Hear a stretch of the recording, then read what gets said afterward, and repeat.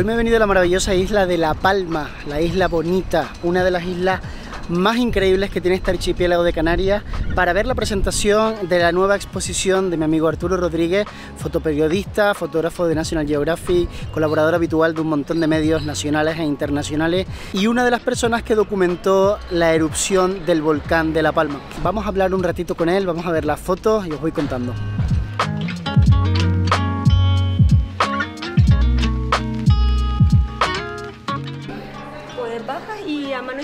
Vale, gracias. Hasta luego. El pulso del volcán se llama la, la, exposición y está patrocinada por National Geographic y por Fuji.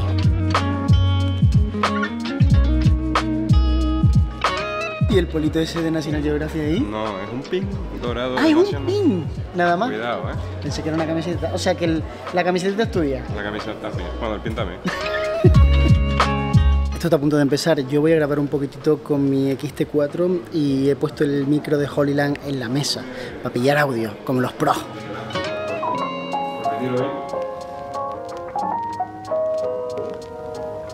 Denunciar, levantar la voz por los que no la atienden. Evitar que los que mandan olviden sus promesas.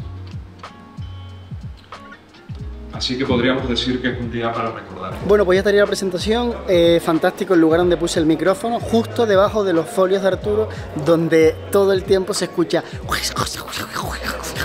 Así que no tengo audio, básicamente.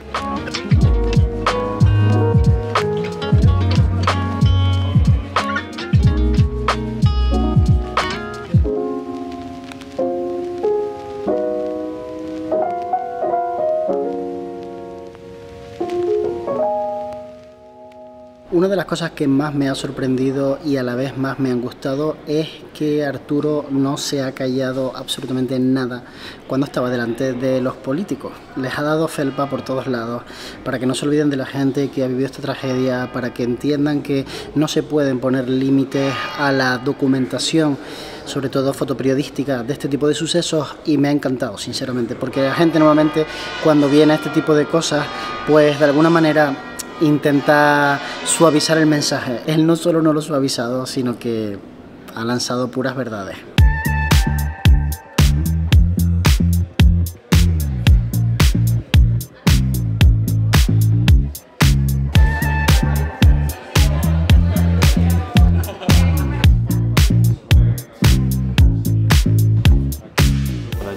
Soy Pablo González, eh, vulcanólogo del CSIC. Eh, mi base está en Tenerife y sí, como pueden ver aquí en estas fotografías, pues estuvimos eh, desplegados para la respuesta a la emergencia en la erupción de La Palma y en particular con nuestro compañero Arturo Rodríguez, que es un fotógrafo de que me imagino que muchos de ustedes lo conocerán. ¿Qué tal trabajar con una persona revoloteando con una cámara alrededor todo el día? Un pesado. Nah, no, la verdad es que es fantástico porque si no hubiera estado él, no hubiéramos tenido un documento gráfico que hubiera que testimoniado lo que todo el esfuerzo que hicimos. Es decir, cuando estás en la vorágine de tomar datos y tal, no te puedes imaginar de, bueno, qué ángulo es el bueno, cómo va a quedar. Realmente puse el aparato de esta manera o estuvimos a qué distancia, cómo se veía ese día. Eh, es un registro que, que nos ayudará desde el punto de vista de la ciencia. Imagino que ya desde el punto de vista estético, pues a la gente que poder ver a nosotros trabajar, pues... Sí, eso es eh, brutal. brutal. vale una imagen que mil palabras. ¿Crees que existe alguna posibilidad de que vuelva a haber una erupción a corto plazo? Eh, no podemos jugar a adivino. Lo mejor que tenemos a día de hoy es ver los parámetros que registran los aparatos. Lo que nos dicen los aparatos a día de hoy en La Palma, y estamos a 16 de, septiembre de 2022, es que no tenemos indicios de que vaya a haber una erupción en corto plazo, ni semanas ni meses. Tendríamos que ver unos, eh, unos indicadores diferentes a los que vemos actualmente. Eso no significa que la emergencia ha acabado, porque tenemos problemas de tipo volcánico todavía.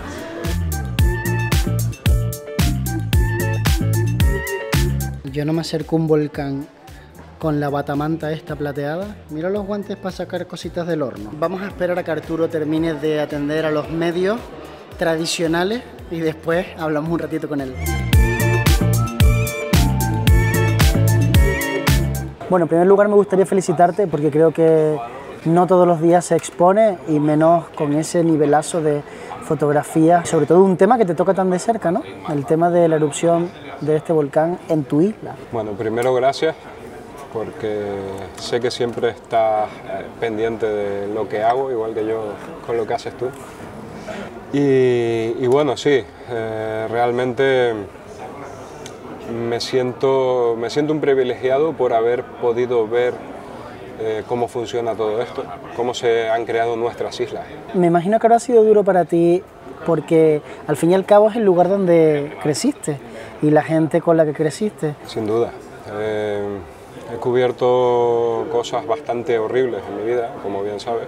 Desde inmigración hasta huracanes en Sudeste Asiático, epidemias de cólera en Centroamérica, donde muere gente. Aquí, por suerte, podríamos decir, entre comillas, que no ha muerto nadie, aunque sí hubo un fallecido. Todavía no se ha esclarecido muy bien cuál fue la causa, si un accidente o, simplemente un fallo cardíaco por la impresión de ver toda su vida destruida por, el volcán. Y, sí, la, quieras o no, eh, empatizas muchísimo más con tus vecinos, empatizas más con los canarios, luego empatizas más con el resto de las comunidades autónomas de España, obviamente somos todos compatriotas, y luego empieza a partir de ahí, ¿no? Portugal, Francia es lo que tenemos más cerca, cualquier cosa que les pase a nuestros vecinos nos afecta, nos afecta mucho más. Es cierto que tenemos África más cerca, pero, pero bueno, nuestra educación eh, católica y en, un punto pseudo eh, xenófoba nos impide que empaticemos de la misma manera con Marruecos, Sáhara Occidental o Senegal, que realmente los canarios los tenemos mucho más cerca. A día de hoy, el tema de las ayudas, ¿cómo está? Tú que has estado más cerca de todo esto. ¿Sabes si han llegado, si han llegado bien, si todavía falta? A ver, la información que yo tengo, esto es un tema hiper delicado porque yo quiero dejar claro que soy consciente de lo complejo que es gestionar una, una crisis como esta, pero también soy consciente de que podrían haber mantenido la boquita cerrada y no prometer cosas que no iban a poder cumplir. Y eso creo que es una, una virtud enorme en un político. No mentir, no decir que sí, sí, no te preocupes, esto va a estar todo solucionado.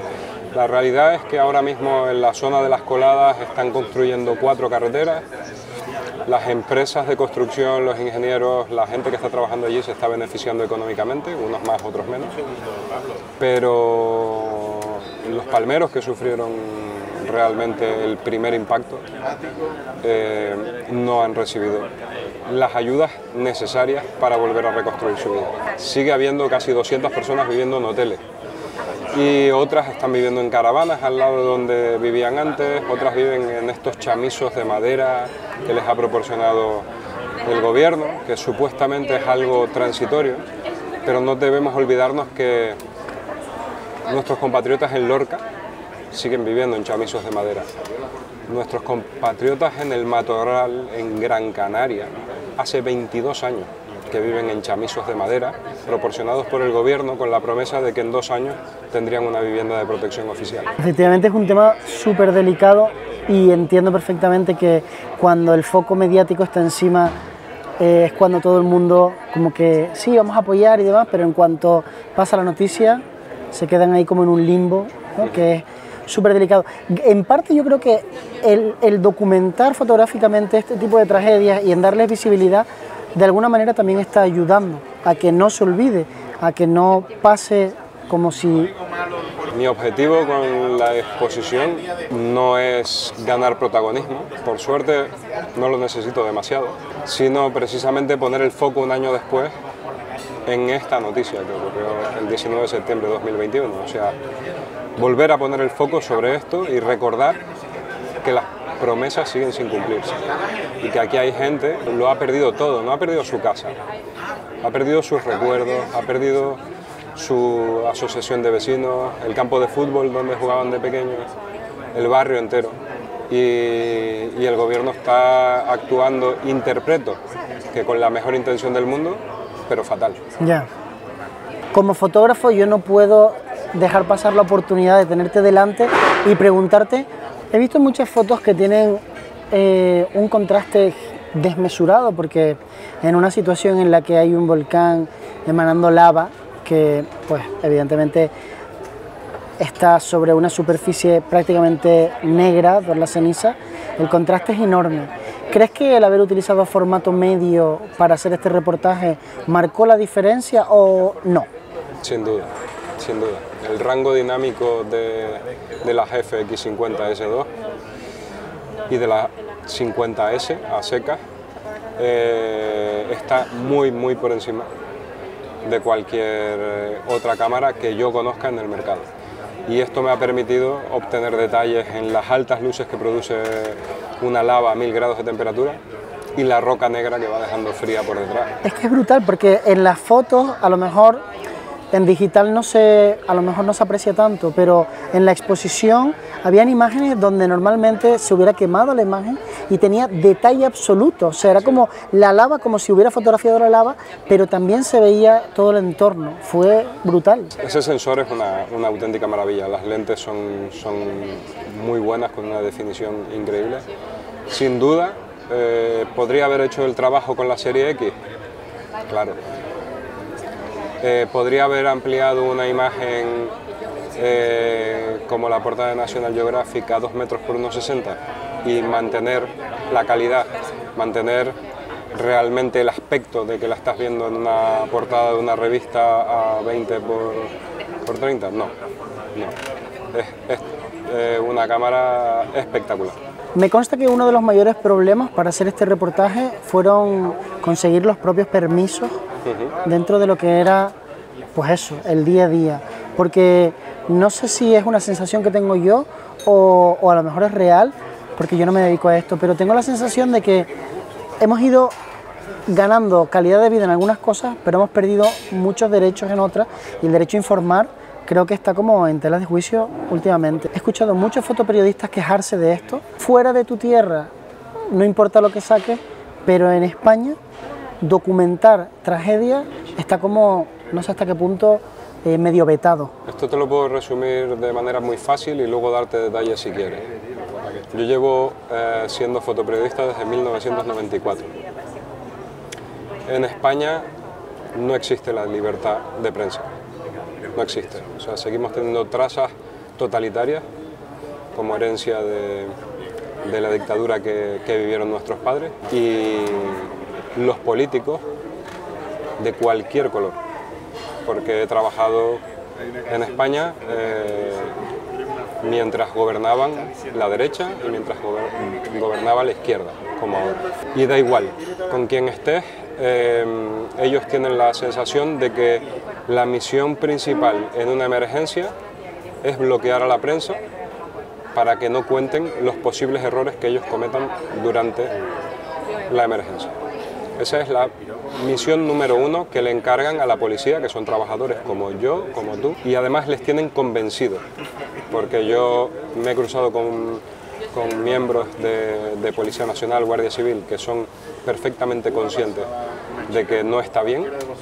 Es más, me han colado ellos mismos en situaciones de emergencia y hay otra parte de, de esos miembros de las fuerzas de seguridad del Estado que les han lavado el cerebro. Toda esta normativa eh, que tenemos en España que nos impide que informemos al ciudadano de manera correcta. Y siempre aluden a, eh, por tu propia seguridad no puedes estar aquí. Y cuando eso no les funciona, en el caso del volcán es por tu propia seguridad, pero cuando no les funciona, como por ejemplo los desalojos de, de toda la gente que han que ha tenido que abandonar sus casas en el Valle de Aridane, es el derecho a la intimidad. Esa es la segunda eh, excusa que te sacan.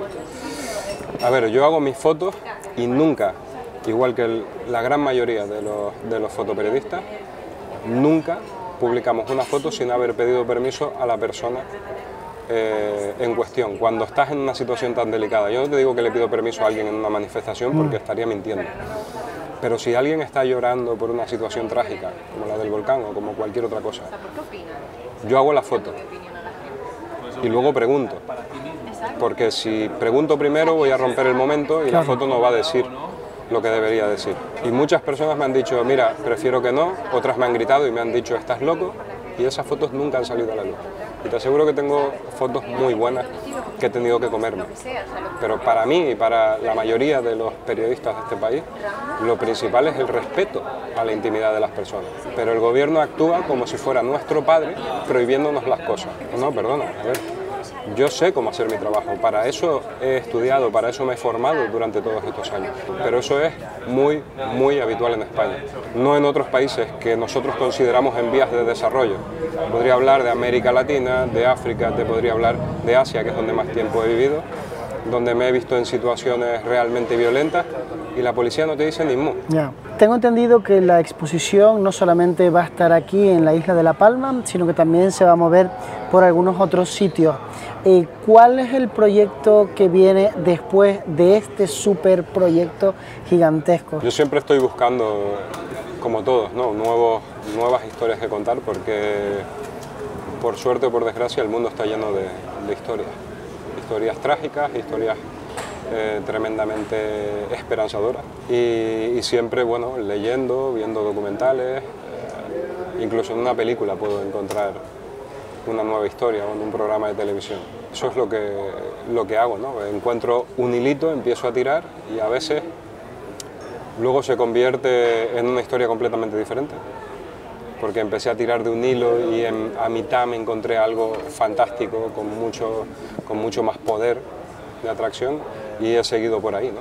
¿Tienes un tema ahora mismo a tratar? Sí, tengo, tengo varias cosas en las que en las que estoy documentándome. Estoy en, proceso de... En una fase inicial. Sí. Eh, uno de ellos llevo más de un año documentándome, pero, pero sí, eh, estoy trabajando en varias cosas porque luego también tienes que tener en cuenta que a mí me puede parecer tremendamente fascinante, pero a, quien quiero eh, venderle, entre comillas, la historia, que sería quien financia, de pronto dice, ah, pero bueno, esto, esto ya lo hemos hecho, o no me parece tan interesante como te parece a ti, ¿no? Pues te deseo toda la suerte del mundo, muchísimas gracias por echar este ratito conmigo y os recomiendo de todo corazón que vayáis a ver la exposición si tenéis la oportunidad porque verdaderamente merece la pena. Bueno, pues hasta aquí mi aventura en la isla de La Palma. Espero que os haya molado mucho la exposición de Arturo Rodríguez. La verdad es que las fotos se ven evidentemente mil veces mejor en persona, así que os animo a que si podéis y os cuadra, vayáis en persona a ver las exposiciones en los diferentes lugares donde va a estar disponible. Os dejo las fechas y los lugares en la descripción del vídeo.